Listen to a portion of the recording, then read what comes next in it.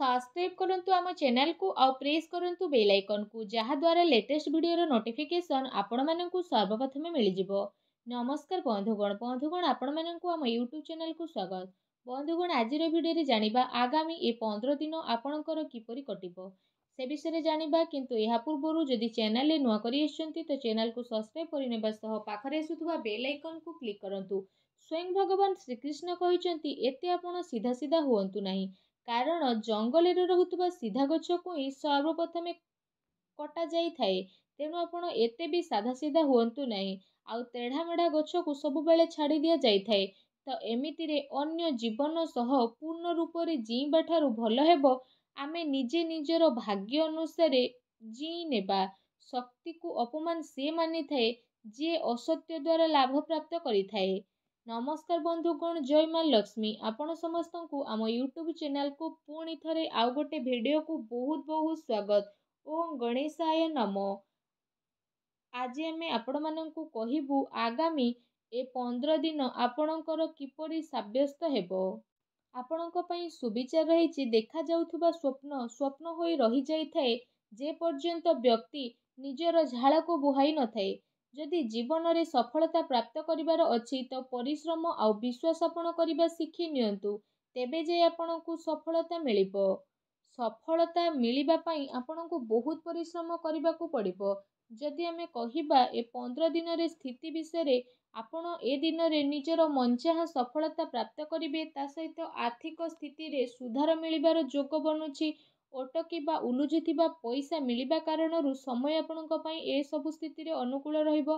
ବିଶେଷ ଭାବରେ ପିଲାଙ୍କର ପାଠପଢ଼ା ଆଉ ବିବାହ ସମ୍ବନ୍ଧିତ ଗତିବିଧିରେ ଖର୍ଚ୍ଚ ଆପଣଙ୍କର ଅଧିକ ଟିକେ ହୋଇପାରେ। ସେଥିପାଇଁ ଭଲ ସ୍ଥିତି ମଧ୍ୟ ମିଳିବ। ତା ସହିତ ଯଦି ଫ୍ରେଣ୍ଡସ୍ କହିବା ପିଲାଙ୍କର କିଲକାରୀ ସମ୍ବନ୍ଧିତ କୌଣସି ଖୁସି ଖବର ମିଳିବା କାରଣରୁ ଘରେ ଖୁସି ଭର ବାତାବରଣ ବନିଯିବ। ବିଶେଷ ଭାବରେ ସରକାରୀ କାର୍ଯ୍ୟ ଯଦି ଆପଣଙ୍କର ଚାଲୁଥିଲା ତ ଏସବୁ ଦିନରେ କୌଣସି ମହତ୍ତ୍ୱପୂର୍ଣ୍ଣ ବ୍ୟକ୍ତିଙ୍କର ପରାମର୍ଶ ଆପଣଙ୍କ ସପକ୍ଷରେ ମଧ୍ୟ ଯାଇପାରେ।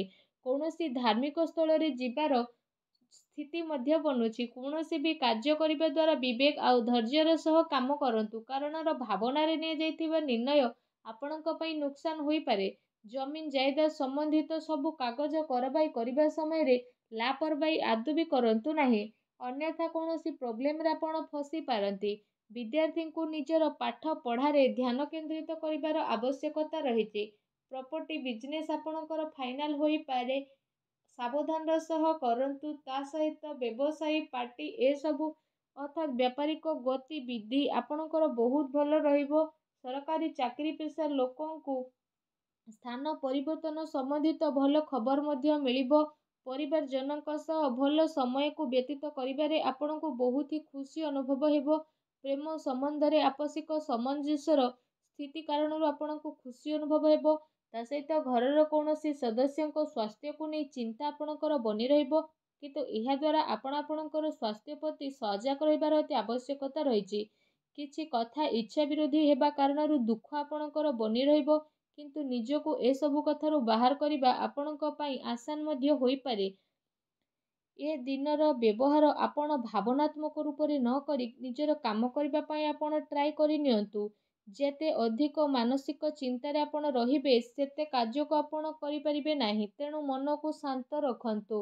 କାମ ସିଲସିଲାରେ କୌଣସି ବ୍ୟକ୍ତିଙ୍କ ସହ କଥାବାର୍ତ୍ତା କରିବା ସମୟରେ ଶବ୍ଦର ଉଲ୍ଲଂଘନ କରନ୍ତୁ ନାହିଁ। ନଚେତ୍ ପରେ ପ୍ରୋବ୍ଲେମରେ ପଡ଼ିପାରନ୍ତି। ରିଲେସନସିପ୍ ସହ ଜଡ଼ିତ କଥା ସ୍ପଷ୍ଟ ରୂପରେ ସାମ୍ନାକୁ ଆସିବ। ଏହାର ନିର୍ଣ୍ଣୟ ନେବା ଆପଣଙ୍କ ପାଇଁ ଆସାନ ରହିବ। କୌଣସି କାମକୁ କରିବା ପୂର୍ବରୁ ତା ସହ ଜଡ଼ିତ ଇନଫର୍ମେସନ୍ ଜାଣିବା ପାଇଁ ଟ୍ରାଏ କରନ୍ତୁ। ଏହାଦ୍ୱାରା ବହୁତ ଭଲ ସ୍ଥିତି ବନିବ ଆପଣଙ୍କର ସମ୍ମାନ ବଢ଼ିବ। ମାତା ପିତାଙ୍କର ବରିଷ୍ଠ ଲୋକଙ୍କର ମାନ ସମ୍ମାନ ମଧ୍ୟ ଆପଣଙ୍କର ବଢ଼ିବାର ଅତି ଆବଶ୍ୟକତା ରହିଛି। ତା ସହିତ ତାଙ୍କ ଆଶୀର୍ବାଦ ଓ ସହଯୋଗ ମଧ୍ୟ ଆପଣଙ୍କୁ ପ୍ରାପ୍ତ ହେବ। ଅନ୍ୟଠାରୁ ଅଧିକ ଆଶା କରିବା ଦ୍ୱାରା ନିଜର କାର୍ଯ୍ୟପ୍ରଣାଳୀରେ ବିଶ୍ୱାସ କରିବାର ଆବଶ୍ୟକତା ରହିଛି। ବ୍ୟବସାୟିକ ସ୍ଥିତିରେ କୌଣସି ପ୍ରଭାବଶାଳୀ ବ୍ୟକ୍ତିଙ୍କର ମାର୍ଗଦର୍ଶନ ଆପଣଙ୍କ ପାଇଁ ସାହାଯ୍ୟକାର ସାବ୍ୟସ୍ତ ହେବ। କାହାର ପରାମର୍ଶରେ ଆପଣ ଆଦୌ ବି ଫସନ୍ତୁ ନାହିଁ। ଚାକିରି ପେଶା ବ୍ୟକ୍ତିଙ୍କୁ ବହୁତ ଭଲ ଭାବରେ ନିଜର କାମକୁ କରିବେ। ଏହାଦ୍ୱାରା ଅଧିକାରୀଙ୍କର ଲାଭ ଆପଣଙ୍କୁ ମିଳିବ। ପତି ପତ୍ନୀଙ୍କ ଭିତରେ ମଧୁରପୂର୍ଣ୍ଣ ସମୟ ରହିବ। ଅବିବାହିତ ଲୋକଙ୍କ ପାଇଁ ଭଲ ସମ୍ପର୍କ ମଧ୍ୟ ଆସିପାରେ। ତଥା ପରିସ୍ଥିତିରେ ନିଜକୁ ସନ୍ତୁଳିତ ଓ ମଜବୁତ ବନେଇକି ରଖିବା ଆପଣଙ୍କର ଆବଶ୍ୟ ବା ଭାବନାତ୍ମକ ପ୍ରଭାବରେ ଆସିକି ସ୍ଥିତି ଆପଣଙ୍କ ପାଇଁ ବହୁତ ଭଲ ରହିବ। ତା ସହିତ ଯଦି ବିଶେଷ ଭାବରେ କହିବା ଆପଣଙ୍କର ନିର୍ଣ୍ଣୟ ଭଲରେ ଠିକ୍ ରହିବ କିନ୍ତୁ ଭୁଲ ବୁଝାମଣା ଉତ୍ପନ୍ନ ମଧ୍ୟ ହୋଇପାରେ। କାମ ଦ୍ୱାରା ଆପଣଙ୍କୁ ପରିବର୍ତ୍ତନ ମଧ୍ୟ ଆସିପାରେ। ତା ସହିତ ଯଦି କହିବା ପାର୍ଟନରସିପ୍ରୁ ଦୂରେଇ ରହିବା କାରଣରୁ ଏକାପଣ ମଧ୍ୟ ଆପଣ ଅନୁଭବ କରିପାରନ୍ତି। ଯଦି ମହିଳାଙ୍କ ବିଷୟରେ କହିବା ମହିଳାଙ୍କ ପାଇଁ ସ୍ଥିତି ବହୁତ ଭଲ ରହିବ। ପ୍ରେମ ଜୀବନ ବିଷୟରେ ଯଦି କହିବା ତ ପ୍ରେମ ଜୀବନର ସ୍ଥିତି ଏସବୁ ଦିନରେ ଆପଣଙ୍କ ସପକ୍ଷରେ ଯିବ। ଆଉ ଏ ସମୟରେ ଆପଣ ଆପଣଙ୍କର ସବୁ କାର୍ଯ୍ୟକୁ ପୁରା ସମ୍ମାନର ସହ ପୁରା କରିବେ। ଯେଉଁ କାରଣ ପାଇଁ ପାର୍ଟନର ଜଣେ ଆଉ ଜଣଙ୍କର ମହତ୍ତ୍ୱକୁ ବୁଝିପାରିବେ ତା ସହିତ ଏସବୁ ସ୍ଥିତି ଆପଣଙ୍କର ଆହୁରି ଅଧିକ ମଜବୁତ ମଧ୍ୟ ବନିଯିବ। ଆପଣ ଆପଣଙ୍କର ଜୀବନସାଥୀଙ୍କ ପ୍ରେମର ସ୍ଥିତିକୁ ଅନୁଭବ ମଧ୍ୟ କରିପାରିବେ। ଯେଉଁ କାରଣ ପାଇଁ ଆପଣଙ୍କୁ ଦୁନିଆ ସାରାର ସବୁ ଜିନିଷକୁ ଭୁଲି ନିଜ ସାଥୀଙ୍କ ସହ ସମ୍ବନ୍ଧ ବନେଇ ରଖିବାର ଅବସର ମଧ୍ୟ ଏ ସମୟରେ ଆପଣଙ୍କୁ ପ୍ରାପ୍ତ ହେବ। ଆପଣ ଦୁଇ ଜଣଙ୍କ ଭିତରେ ଚାଲୁଥିବା ବିବାଦ ଖତମ ହେବାର ପୁରା ସମ୍ଭାବନା ମଧ୍ୟ ବନୁଅଛି। ତା ସହିତ ଯଦି କ୍ୟାରିୟର ବିଷୟରେ ଆଲୋଚନା କରିବା ତ ଏ ସମୟରେ ବିଶେଷ ରୂପରେ ସେ ସବୁ ଲୋକଙ୍କ ପାଇଁ ଭଲ ବା ସଫଳତା ସହ ରହିବ। ଯେଉଁମାନେ କୌଣସି ପ୍ରକାରର ଶିକ୍ଷା ବା ଲେଖନୀ କ୍ଷେତ୍ରରେ ଜଡ଼ିତ ଅଛନ୍ତି। ଶତ୍ରୁ ସୁତ୍କର୍ତ୍ତା ପତ୍ରକାର ଲେଖକ ଆଉ ଶିକ୍ଷା ସମ୍ବନ୍ଧିତ ଜଡ଼ିତ ବ୍ୟକ୍ତି ବିଶେଷଙ୍କୁ ଏସବୁ ଦିନରେ ବହୁତ ଅଧିକ ଆନନ୍ଦ ପ୍ରାପ୍ତ ହେବାର ଅତି ସଂକେତ ବନୁଅଛି। ଏ ଦିନରେ ଲମ୍ବା ଯୋଜନାକୁ ଆପଣ ବନେଇ ନିବେଶ କରିବାର ସ୍ଥିତି ମଧ୍ୟ ବନୁଛି।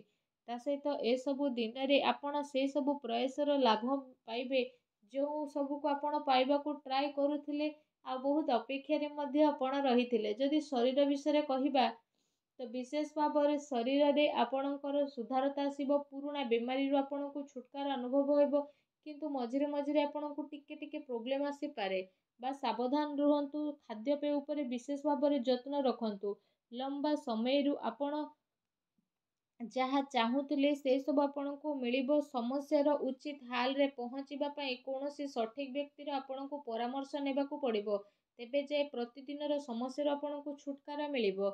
ଏମିତିରେ କୌଣସି ମେଡ଼ିସିନ ଡକ୍ଟରଙ୍କ ବିନା ପରାମର୍ଶରେ ନେଲେ ଆପଣଙ୍କୁ ପରେ ପ୍ରୋବ୍ଲେମ୍ ଫେସ୍ ହୋଇପାରେ। ଭାଗ୍ୟର ପୁରା ସାଥ ଆଗାମୀ ପନ୍ଦର ଦିନରେ ଆପଣଙ୍କୁ ତ ପ୍ରାପ୍ତ ହେବ। କିନ୍ତୁ ଯଦି ଉପାୟ ବିଷୟରେ କହିବା ତ ଆଗାମୀ ପନ୍ଦର ଦିନରେ ଭଗବାନ ଗଣେଶଙ୍କର ପୂଜା ଆରାଧନା କରନ୍ତୁ ଘରୁ ଯେତେବେଳେ ବାହାରକୁ ଯାଉଛନ୍ତି ପକେଟରେ ଦୁବ ନେଇକି ଯାତ୍ରା ଆରମ୍ଭ କରନ୍ତୁ ନିଜର କ୍ରୋଧ ଉପରେ ନିୟନ୍ତ୍ରଣ ରଖନ୍ତୁ ତା ସହିତ ସବୁବେଳେ ସତ କହିବା ପାଇଁ ଟ୍ରାଏ କରନ୍ତୁ। ଦେଖିବେ ଜୀବନର ପ୍ରତିଟି କ୍ଷେତ୍ରରେ ଆପଣଙ୍କୁ ସଫଳତା ପ୍ରାପ୍ତ ହେବ। ତା ସହିତ ଆପଣ ପରିଶ୍ରମ କରିବାକୁ ଆଦୌ ବି ଭୁଲନ୍ତୁ ନାହିଁ। ଯେତିକି ପରିଶ୍ରମ ଏଇ ଆଗାମୀ ପନ୍ଦର ଦିନରେ କରିବେ ସେ ପରିଶ୍ରମର ଡବଲ ଫଳ ଆପଣଙ୍କୁ ପ୍ରାପ୍ତ ହେବ। ତେଣୁ ଏହା ରହିଲା କି ଆପଣ କେତିକି ପରିଶ୍ରମ କରୁଛନ୍ତି ଆଉ କେତିକି ଆପଣଙ୍କୁ ଫଳ ମିଳିବ ଯେତିକି ପରିଶ୍ରମ କରିବେ ତାର ଦୁଇ ଗୁଣ ଫଳ ଆପଣଙ୍କୁ ପ୍ରାପ୍ତ ହେବ। ତ ଆଶା କରୁଛି ଏ ଭିଡ଼ିଓଟି ଆପଣଙ୍କୁ ଭଲ ଲାଗିଥିବ ଯଦି ଭିଡ଼ିଓଟି ଭଲ ଲାଗିଥାଏ ତ ଭିଡ଼ିଓଟିକୁ ଲାଇକ୍ଟେ କରନ୍ତୁ। ଆଉ ଯଦି ଆପଣ ଚ୍ୟାନେଲରେ ନୂଆ କରି ଆସିଛନ୍ତି ତ ଚ୍ୟାନେଲକୁ ସବସ୍କ୍ରାଇବ୍ କରିନେବା ସହ ପାଖରେ ଆସୁଥିବା ବେଲ୍ ଆଇକନ୍କୁ ବି କ୍ଲିକ୍ କରନ୍ତୁ। ଧନ୍ୟବାଦ।